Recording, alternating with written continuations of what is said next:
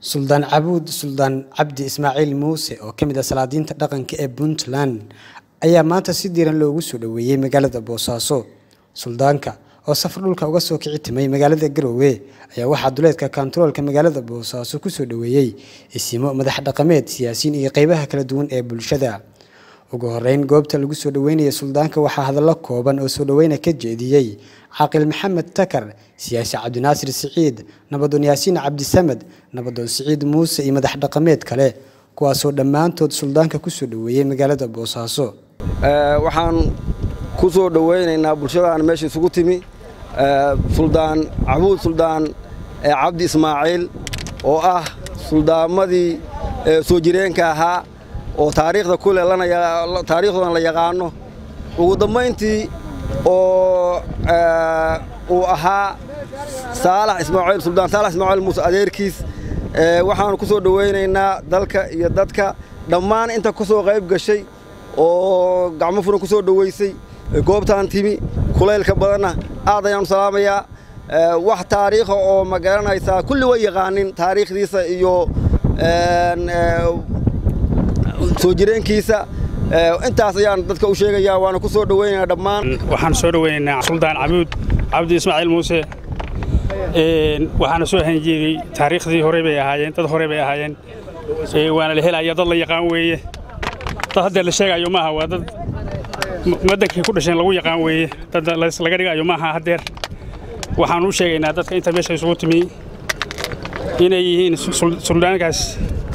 Ay ahaan jireen iyagu soo jireen ahaan jireen intaasaanu dadka u sheegaynaa waanu ku soo dhowaynaynaa waxaan soo dhowaynaynaa suldaan cabuud suldaan balballaare. Balballaaraan hadda anugu oday oo cabdi suldaan cabdi ismaaciil. Halkaan hadda dad badan oo ehlu sharafaa yimid oo suldaanka soo dhowayntiisa u soo baxay.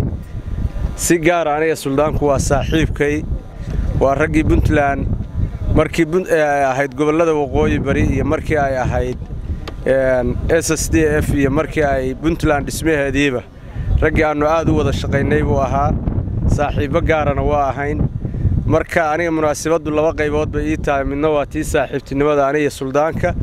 Midna waa midda hadde sadanada iyo hadda soo dhowaynteeda maasha allah aad iyo aad annaguna suldaan waxaan leenahay soo dhowow dadkaagii baa u timi iyo dalkaagii ma garanaysaa. Aad iyo aad baan kugu soo dhowaynaynaa magaalada boosaaso waxaan filayaa de shacab badan waa kuu yimi shacab badanna wuu ku sugayaa. Insha allahu tacaala aad baan kugu hambalyaynaynaa soo dhowaynta waan ku faraxsanahay inaad saakana soo gaarto. Waxaan aad u soo dhowaynayaa suldaanka cabuud waa suldaan soo jireen sida taariikhdu uga sheekeeyeen odayaashu. Halkaan kuma soo koobi karno laakiin insha allah waxaan rajaynaynaa taariikhdiisoo dhammaystiran suldaanka. Inaan magaareh aan waxa weeyaan soo diyaarin doonno suldaan cabuud suldaan cabdi ismaaciil muuse oo dhankiisa ka hadlay goobta ayaa bulshadii iyo madax dhaqameedkii soo dhoweysay uga mahadceliyey.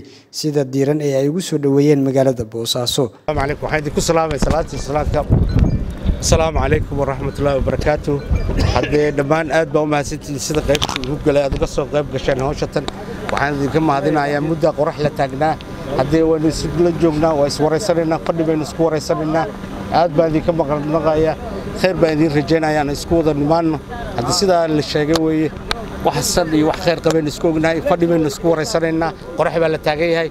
Aad baan idiin salaamaya cabdirasaaq cabdalla faamus raadiyaha telefishinka dowladda puntland magaalada boosaaso